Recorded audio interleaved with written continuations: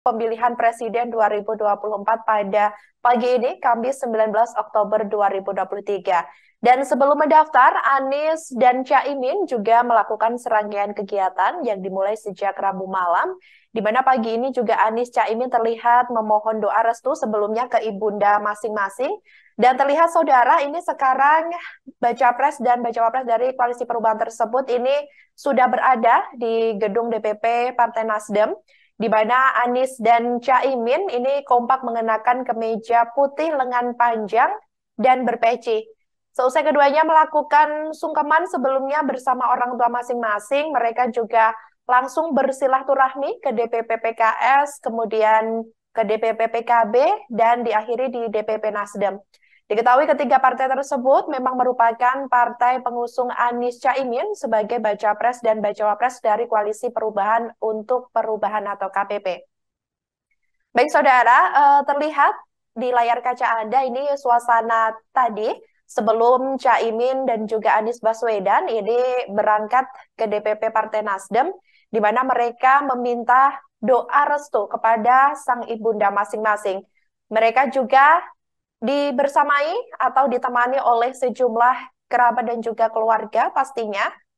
Kemudian saudara, rangkaian pada hari ini memang Anies Baswedan dan juga Caimin dijadwalkan mendaftar ke Komisi Pemilihan Umum ini sekira pukul 08.00 waktu Indonesia Barat.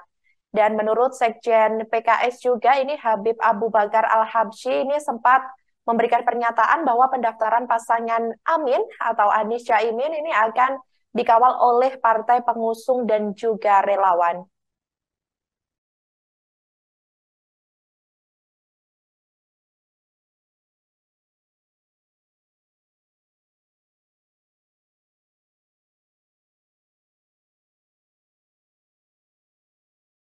kami barusan selesai dari doa dari guru tadi malam tenang nggak? tenang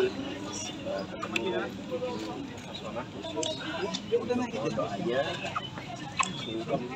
dan pagi ini di rumah kami insya Allah sekarang langsung kami menuju ke PKS ngapain PKB ke Nasdem kemudian ke KPU ini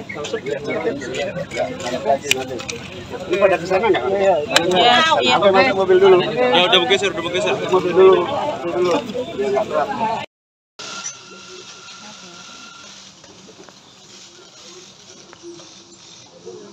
Kenapa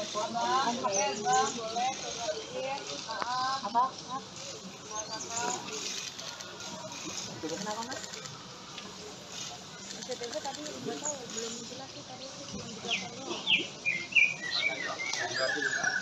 Iya gitu Iya tapi